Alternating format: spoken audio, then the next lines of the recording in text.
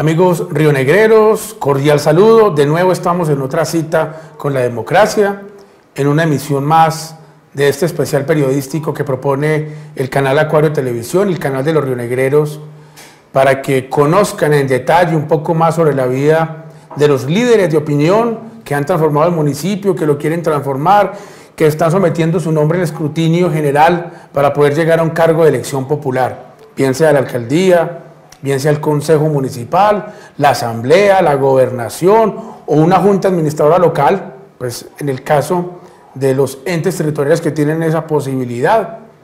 Ahora el domingo 25 de octubre, ya está muy cerca, la recta final de esta cita con la democracia pues es cada vez más próxima.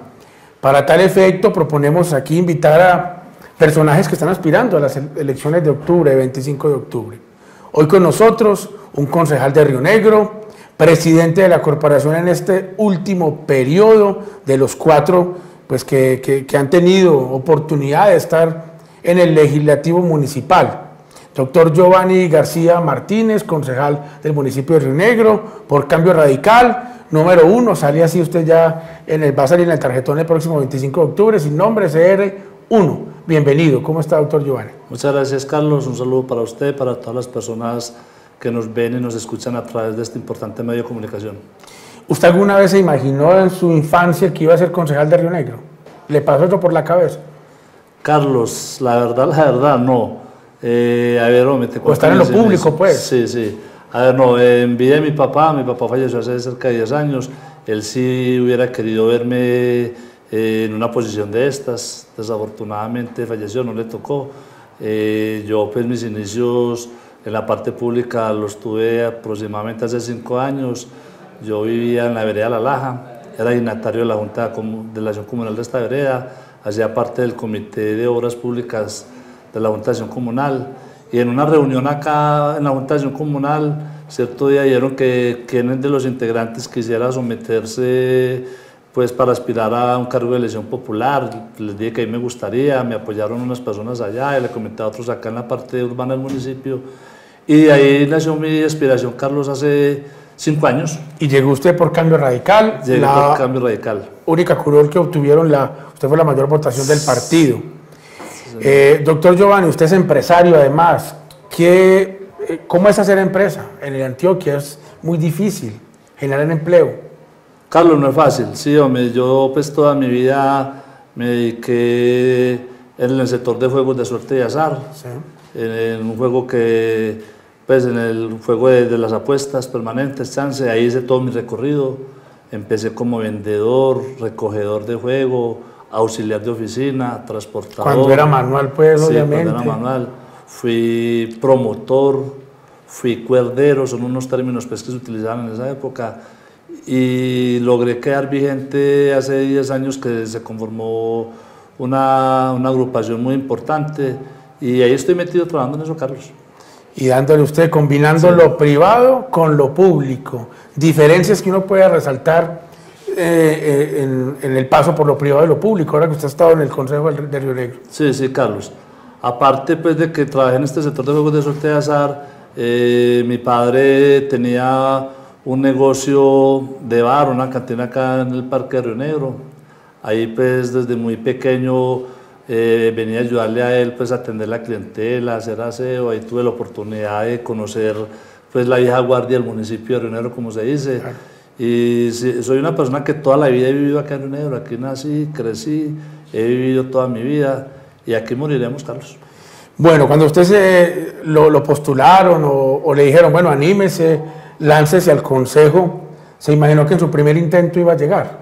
Usted dijo, uy, esto está muy complicado, o cómo fue el cálculo, cómo fue el método para que usted lograra una curul en el Consejo de Municipio de Río Carlos, no, sí, yo en ese tiempo sí, pues era muy optimista, tenía un buen equipo de trabajo y yo me tenía mucha confianza, mucha fe de que iba a alcanzar. Llegué, eh, sí, la verdad te digo, Carlos, yo esperaba sacar mucho más votos. No ¿Cuántos votos fueron hace cuatro años? Saqué 863. 863, una, una, suma importante. Sí, sí, fue la la novena votación del municipio. Del municipio, la primera de cambio radical, la que Sí, le otorga la curul. Y de esa campaña, ¿usted qué recuerda? Esos líderes todavía lo acompañan muchos, otros se han ido, ha logrado mantener el equipo. ¿Cómo ha sido ese tema? Sí, sí. Carlos, a ver, hombre, no, la política es muy dinámica. Sí, eh, de verdad que la política de esos líderes de hace cuatro años, Carlos, eh, muchos se me han ido, eh, ha ingresado un poco de gente muy nueva al equipo, muy buena. De verdad que me ha gustado mucho la política porque uno a través de la política le sirve a la gente, le colabora, le ayuda. Yo lo hago desinteresadamente, sin compromisos. Me ha gustado y me ha ido bien, gracias a eso pues este año soy el presidente de la corporación, la voluntad política del señor alcalde, de los concejales que me dieron la oportunidad y los que me acompañaron con el voto. Lo más maluco para mí de la política, Carlos, hermano, es uno no puede ayudar a todo el mundo. Y lo llaman mucho al celular, usted entrega sin aspavientos y sin problemas su, su número la comunidad, bueno, que está sonando constantemente y a veces hasta en las madrugadas debe timbrar alguna persona requiriendo algún favor, que usted es el puente ese elector con el, con el mandatario municipal. Sí, sí, Carlos, así es. Yo a todo el mundo le entrego mi tarjetica con mi número de contacto. Yo todas las llamadas las contesto, las devuelvo. Eh, de verdad que sí, me gusta mucho servir, colaborar. Tengo esa vocación de servicio.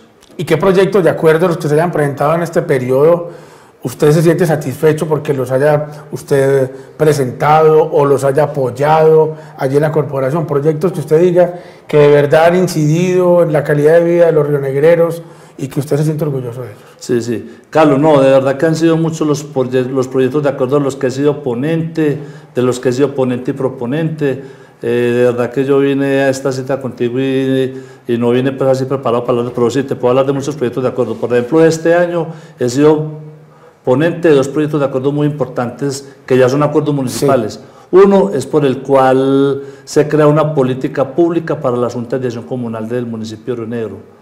El otro es por el cual se institucionaliza el Día de la Junta de Acción Comunal. Eso fue a principios Usted con este las acciones comunales está, como se dice por ahí, sí. parado, pues, está sí, bien señor. con ellos. Fui ponente y proponente de un proyecto de acuerdo por el cual se institucionaliza en el municipio de Río Negro la Semana de la Mujer. Ah, Sí, excelente, con en marzo. concejales, sí, eso es en marzo.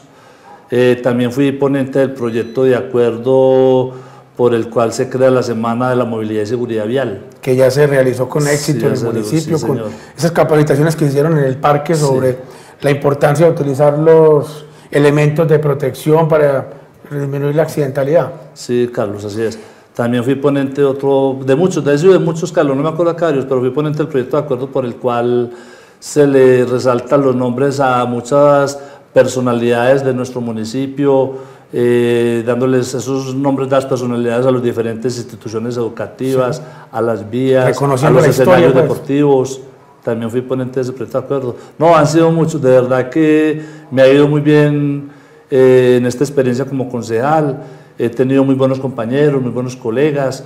eh, la mesa directiva eh, me tuve en cuenta para muchos, ponen- para, para muchos proyectos de acuerdo. La verdad que en estos días pienso sacar un informe de gestión para que la comunidad sepa de todos los logros que hemos hecho en la corporación. Excelente, usted entonces los primeros tres años fue un concejal, ahora es, es el que preside la corporación. ¿Qué tanta responsabilidad tiene un presidente de un consejo como para que le podamos explicar a la comunidad qué significa ser presidente del Consejo de los Rionegreros? Sí, sí. Carlos, a ver, no, los, este primer periodo que tengo como concejal le- he aprendido mucho. De verdad que uno acá se aprende mucho, se madura mucho. Eh, eh, como presidente la responsabilidad es grande, porque de verdad que es, es manejar toda la corporación, darle a la corporación pues el estatus, el nivel que la corporación se merece.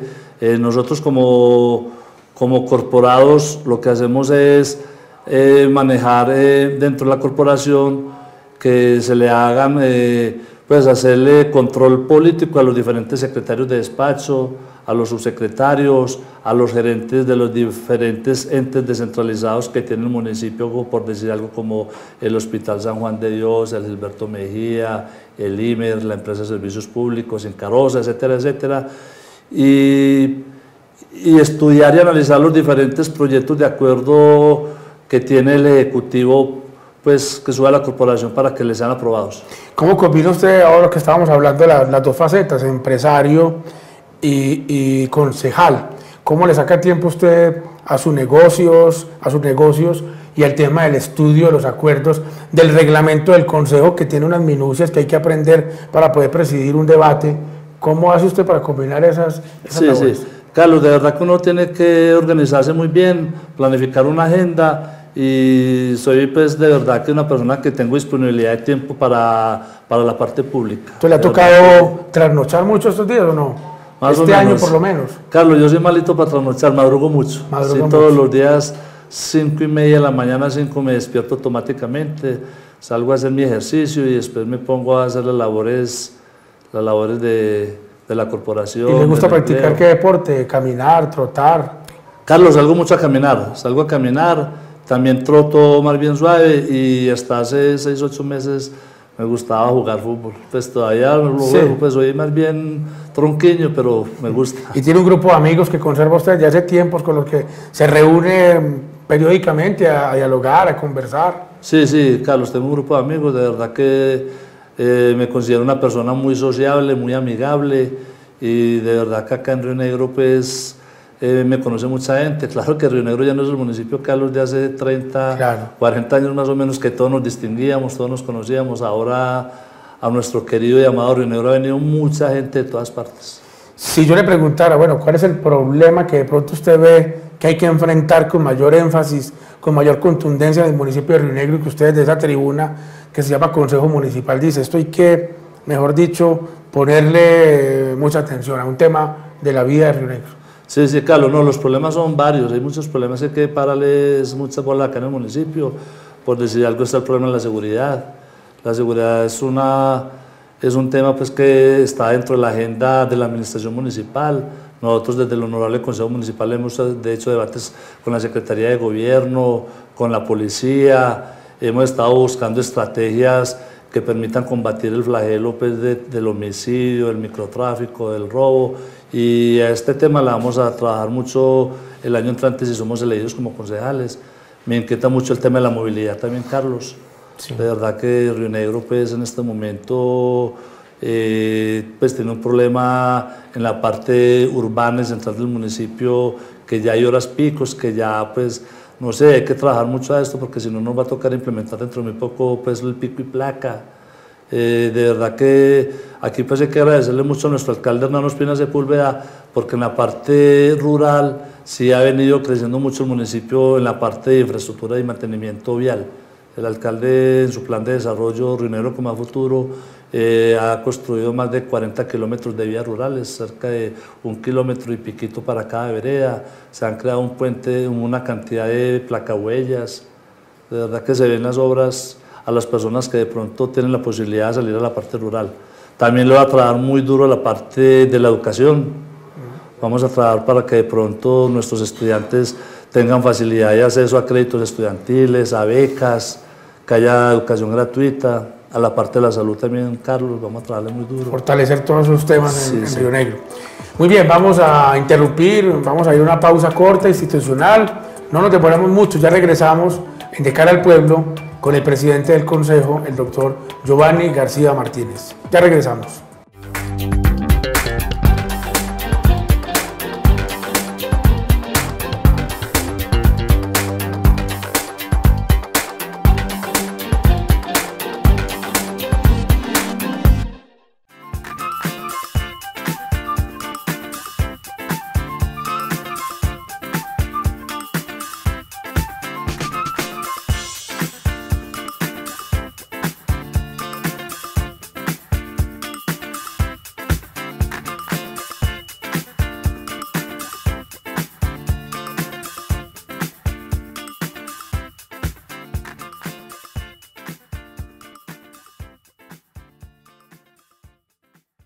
El robo de cereal es un delito castigado penalmente. Además, hacerlo de manera artesanal perjudica el servicio de tu vecino o sector. Nuestro personal está capacitado para la prestación óptima del servicio. Solicite su señal en nuestra oficina. Evítese molestias.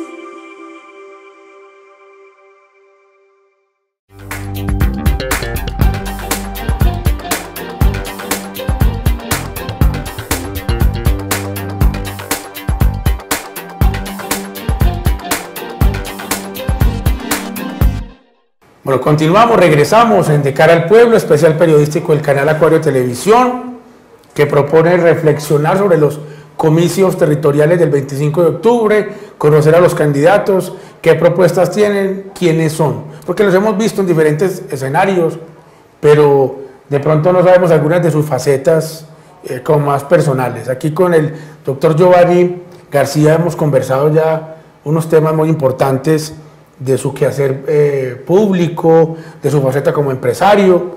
Vamos a meternos al tema político.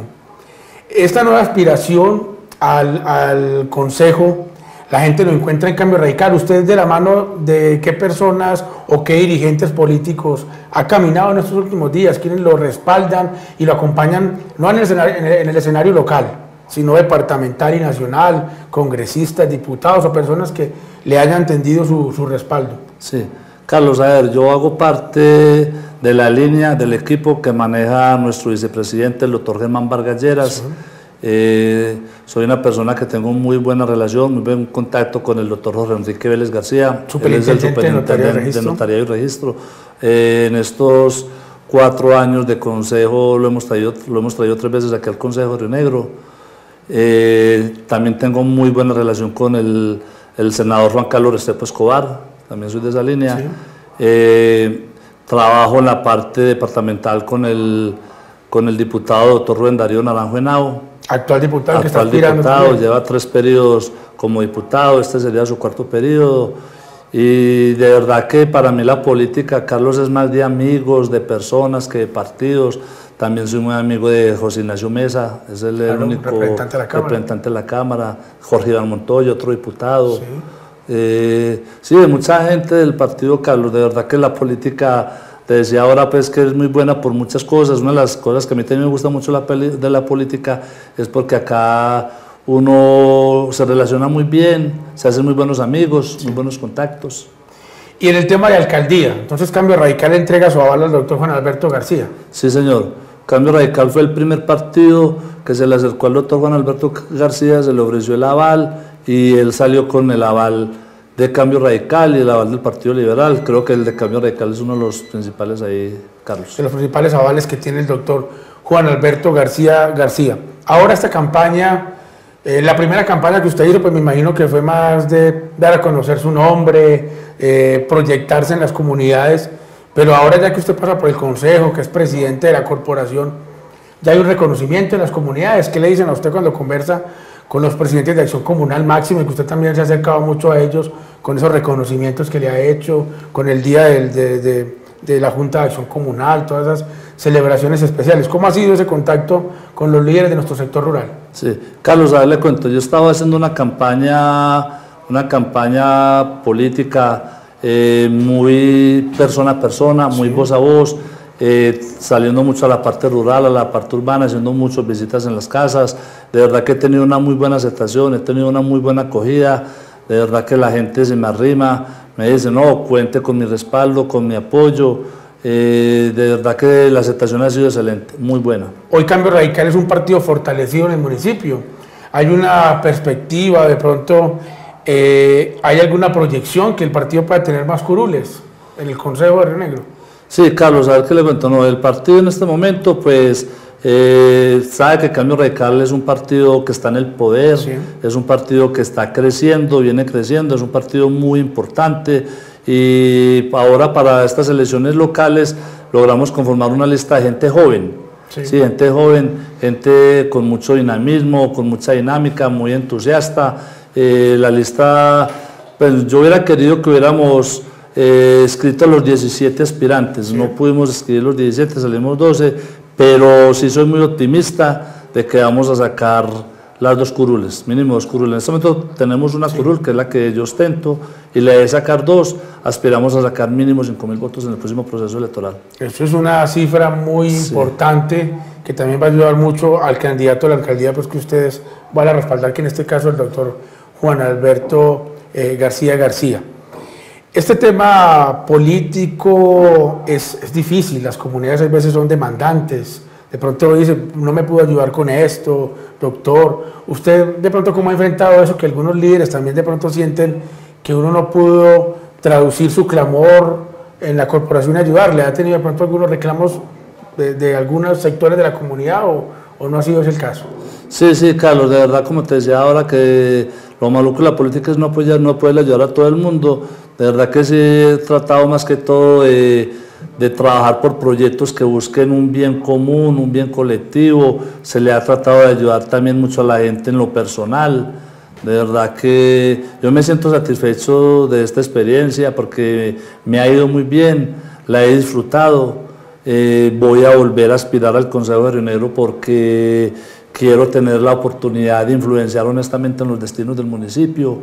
Quiero trabajar mucho por Río Negro, por las gentes, eh, Río Negro es un municipio que me ha dado mucho, mucho, Carlos, y la idea es como devolverle a Río Negro un poquito todo lo que nos ha dado.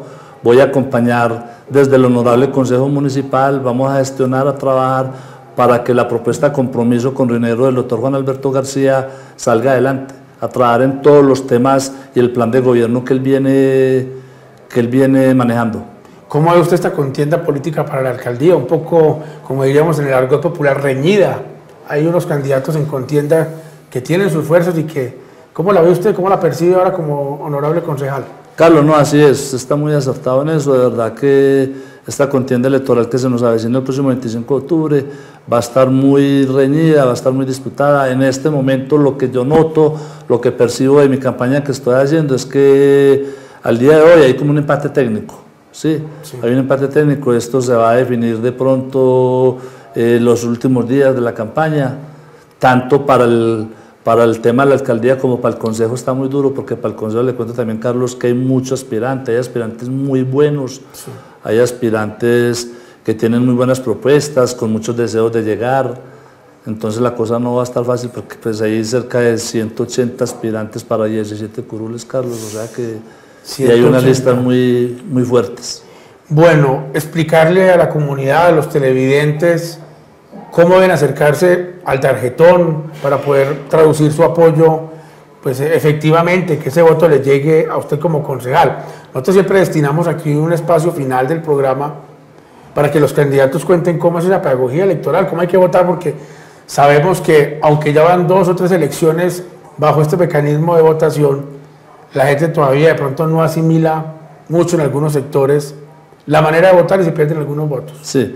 Carlos, a ver, no, como presidente del Consejo, eh, quiero, quiero invitar a todas las personas que nos están viendo, nos están escuchando, para que en el proceso electoral del próximo 25 de octubre elijamos bien, votemos a conciencia, el voto es secreto, mediante esta modalidad nosotros podemos votar por personas que en realidad nosotros conozcamos, a las que le podamos depositar nuestra confianza, que votemos por candidatos que tengan propuestas serias, de gobierno, que las propuestas sean viables para la comunidad, para el municipio, para que no se conviertan en falsas propuestas electorales, que votemos por personas que sean líderes, que tengan carisma, que trabajen por un bien común, un bien colectivo, eh, que no busquen bienes personales, que sean incluyentes. Esa es la invitación que yo les traigo el día de hoy, que madruguemos a votar el próximo 25 de octubre porque se cree pues en Río Negro hay un censo electoral de 80 mil personas, se inscribieron más de 10 mil, se cree que van a votar cerca de 60 mil personas, entonces la invitación es para que madruguemos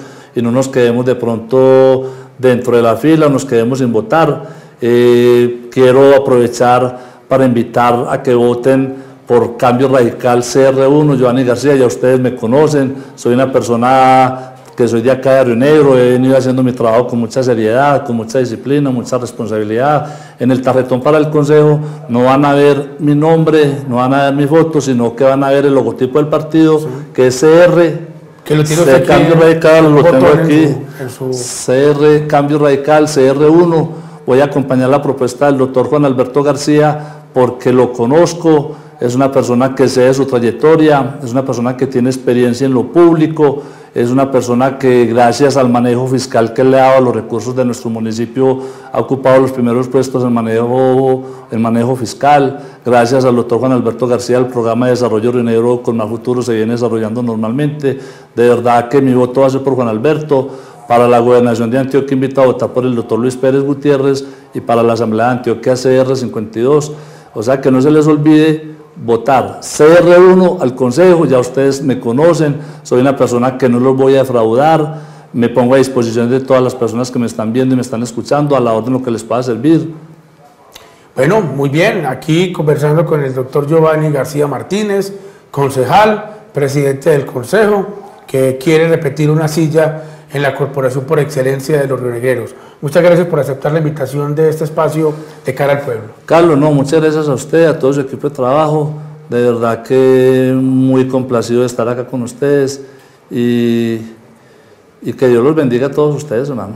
Muchas gracias, doctor Giovanni. Éxitos en su nueva aspiración. Amables televidentes, ya nos vamos de este especial periodístico por hoy. De cara al pueblo, estaremos en una próxima emisión con un nuevo líder, un nuevo personaje que nos va a exponer eh, por qué quiere eh, representarnos, ya sea en el Consejo, en la Asamblea, en la Gobernación, en la Alcaldía. Nos irán contando y aquí estaremos trayéndole esto para que ustedes conozcan las propuestas y sepan votar de una manera mm, acertada por el bien, por el futuro del municipio de Río Negro. Muchas gracias, nos encontraremos en otra emisión De cara al pueblo.